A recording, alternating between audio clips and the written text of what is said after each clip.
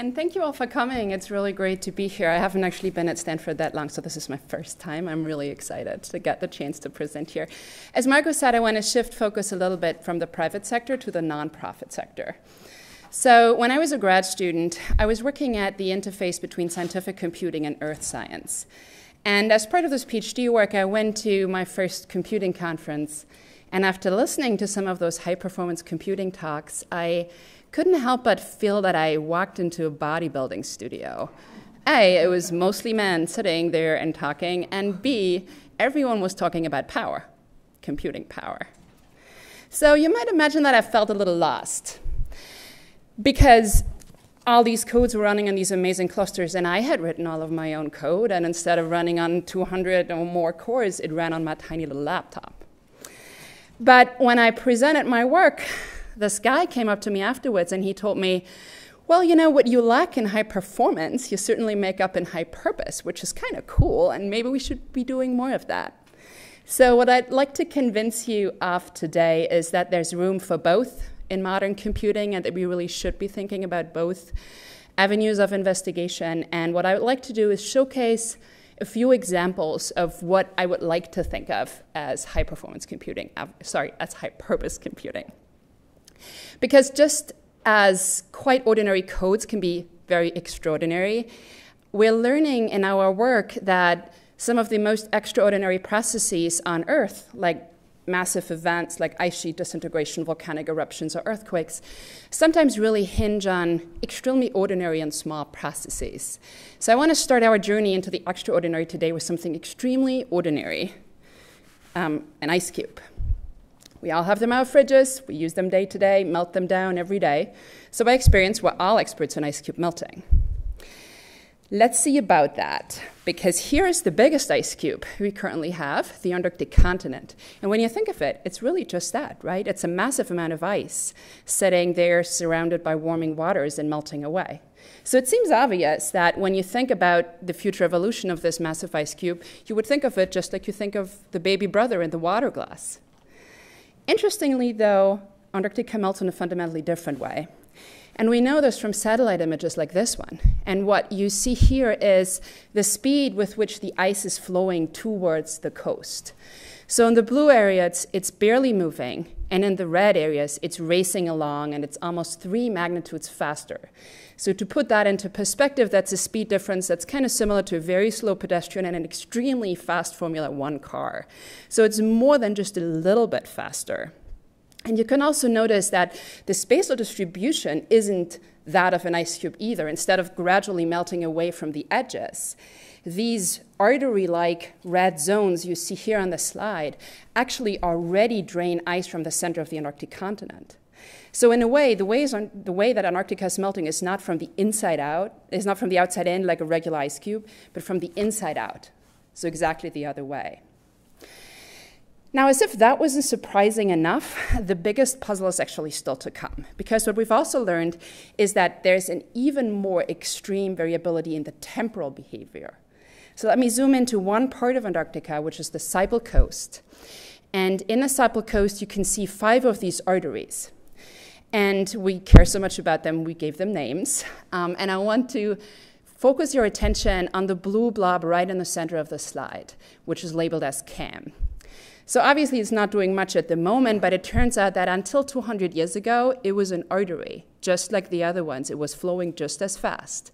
And then suddenly, it just stopped. It like just went away, which to me still seems more like magic than it is science, but the data very clearly shows that. And by discontinuous, I mean probably in less than a year or so. And you know, prior to climate change and all of this wonderful data, we thought that ice sheets couldn't respond faster than a few hundred thousand years, hundreds or thousand years. So having adjustments on a yearly timescale is extremely surprising. So what that means is that these arteries in Antarctica are not like the arteries in your body. They move around, they stop, they start, they accelerate, they slow down, they do crazy things, they multiply, right? And that's what we need to understand. So what the heck is going on? In which way is this huge ice cube so very different than its little brother in the water glass, right? They're both ice, they're both surrounded by water. The big difference is that Antarctica has a subsurface. It actually sits on ground. So let me peel away the data layer that shows the ice velocity and just have a look at that subsurface. Here it is. The first thing you might notice is that it's extremely flat. So I guess, had I showed you this slide at the beginning, you couldn't have guessed where the fast flow is occurring as opposed to the slow flow.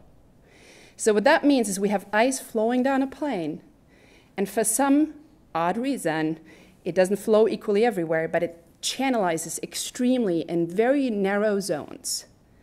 So how can we possibly understand that and, and how can the subsurface create that? Because it's not variations in the nature of the subsurface. It's not obvious from this graph, but we're very certain it's the same kind of sediment underlying this entire area. And the answer to the puzzle is water is the interaction between water and sediment grains underneath the ice. So, how can a process like that, tiny, delicate like that, really have this kind of an impact? Let's return to a more familiar and ordinary environment to understand that. Let's go to the beach. Here's a beautiful sandcastle, and I'm not sure whether you ever tried building one of these. It's not actually that easy.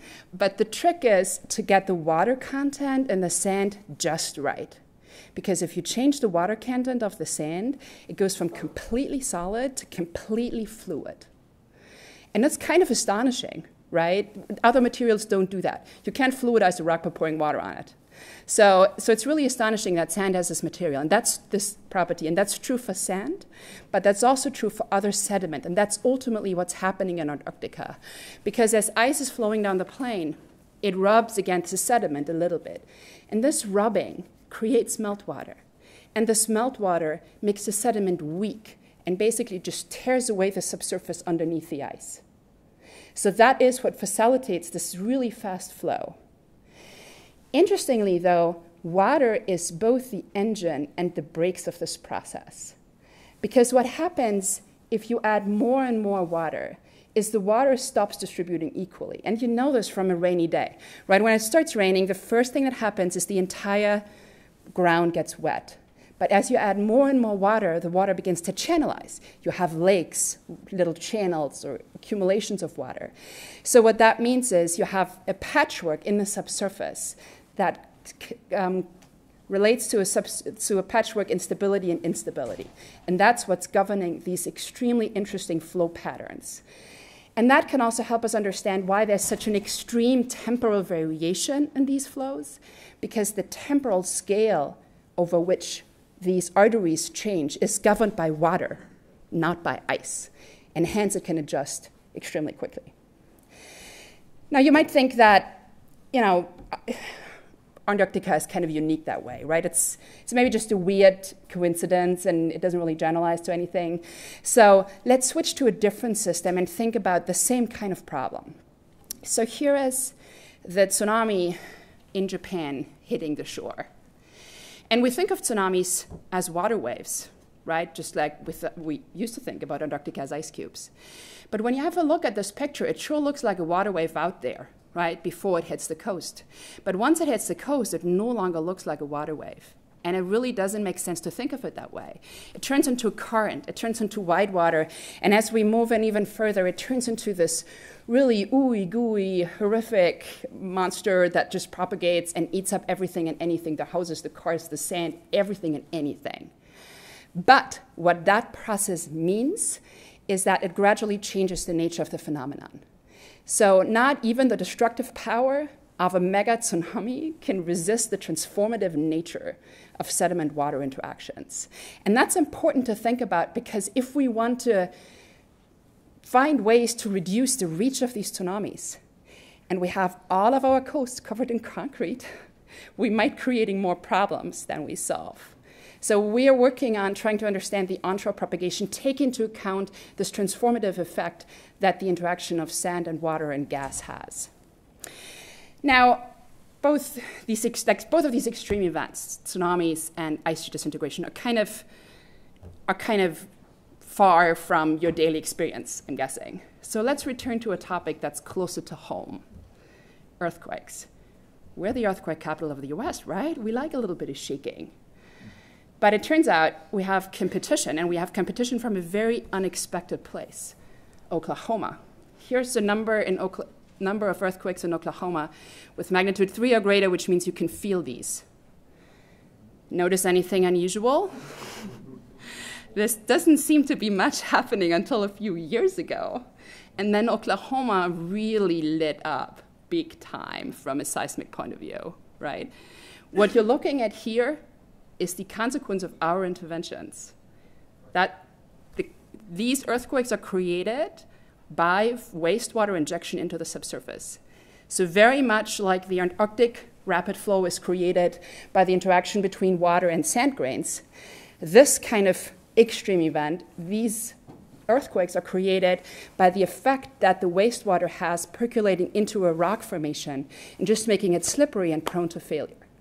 So by adding this water, we basically turned Oklahoma into an earthquake generator, which is a pretty interesting effect that we might not have anticipated, certainly not at this level or at this level of magnitude.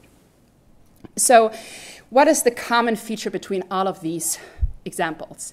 The unifying threat between all of these is that we care about understanding processes that help us reduce the lives at, the, the, reduce the danger of lives that are at risk from natural disasters.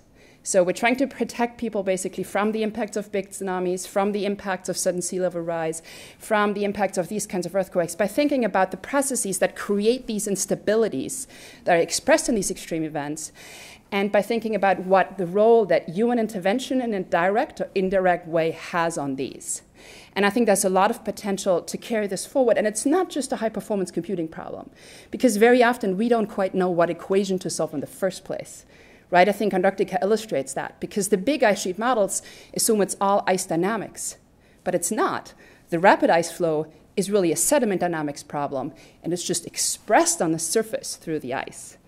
So once we know what kind of equations we want to solve, yes, we, we, all we need is resolution, order, and accuracy to kill it. But prior to that, we really need insight into the physical processes. So that's why we're working on trying to understand these physical processes that will ultimately then be fed into these bigger scale models. So thank you very much.